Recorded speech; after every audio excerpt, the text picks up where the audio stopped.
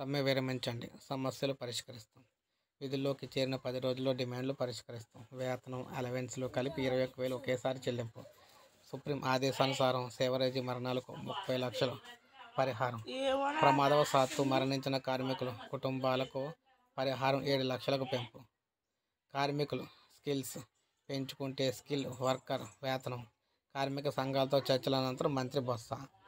So మొత్తం మేము చూసుకున్నట్లయితే సేవరేజీ మరణాలకు సుప్రీంకోర్టు ఆదేశానుసారం ముప్పై లక్షల పరిహారం చెల్లించాలని కార్మికులు కోరారు. సుప్రీంకోర్టు తీర్పును అమలు చేస్తాం.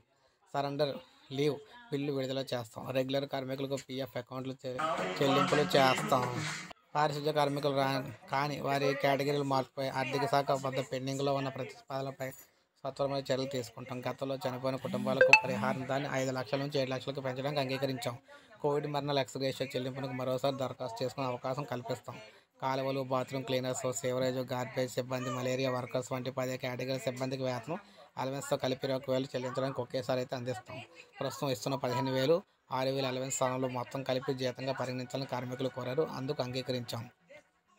వాటర్ సప్లైలో పనిచేస్తున్న నైపుణ్యం గల పొరుగు సేవల సిబ్బందికి కార్మికుల స్కిల్ డెవలప్మెంట్ ద్వారా శిక్షణ ఇచ్చి సర్టిఫికేట్ అందజేస్తాం. మరణించిన పొరుగు సేవల కార్మికులు దహన సంస్కారాలకు ఇస్తున్న ఖర్చులను పెంచుతాం.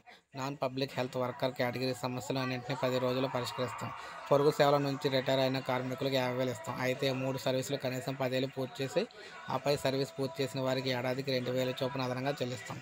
అన్స్కిల్డ్ వర్కర్లు కూడా స్కిల్డ్ కవర్లో వర్కర్లతో సమానంగా వేతనం ఇవ్వాలని డిమాండ్ చేశారు. ఇది నిబంధనకు విరుద్ధం. అన్స్కిల్డ్ వర్కర్లు కూడా చదువుకొని ఐటీఐ వంటి స్కిల్ సర్టిఫికేట్లు సాధిస్తే వారికి స్కిల్ వేతనం అందిస్తాం. ఇందుకోసం వారికి చదువుకునే అవకాశం కూడా కల్పిస్తాం. సో ఈ విధంగా కీలక ప్రకటన అయితే చేసిందనమాట ప్రభుత్వం. సో ఇది ఫ్రెండ్స్ వీడియో.